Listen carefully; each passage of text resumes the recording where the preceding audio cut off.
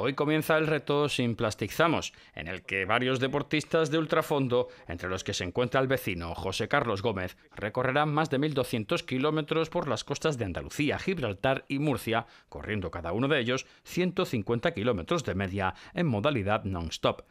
Esta iniciativa se lleva a cabo durante esta jornada y la de mañana sábado. Paralelamente a este reto deportivo se realizarán las jornadas medioambientales y este año, además de limpiezas de playas y charlas divulgativas, serán limpiezas de fondos marinos en algunos enclaves de la costa andaluza, como es el caso de Manilva, además de la limpieza de riberas de ríos. Mañana sábado, la zona del Castillo de la Duquesa vivirá una jornada muy especial, en la que se realizará una limpieza de fondos marinos por parte de la Asociación Subacuática de Casares y la Red de Vigilantes Marinos, mientras que el Club de Paddle Surf de la localidad llevará a cabo una limpieza de la superficie del agua y de la playa, para finalizar con las charlas de los plásticos en el entorno marino impartidas por el Complejo Ambiental Costa del Sol.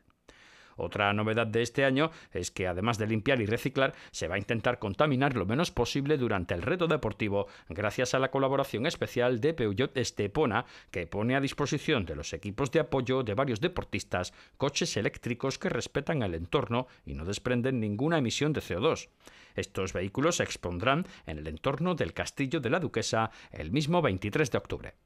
Sin Plasticizamos cuenta con la colaboración de muchas asociaciones, ayuntamientos y empresas. En nuestra comarca colaboran directamente con el evento la Asociación Subacuática de Casares, Red de Vigilantes Marinos, Club Paddle Surf de Manilva, Club Deportivo Senderista Los Cruos, Ayuntamiento de Manilva, Reciclados Jurado de Estepona y Peugeot Estepona.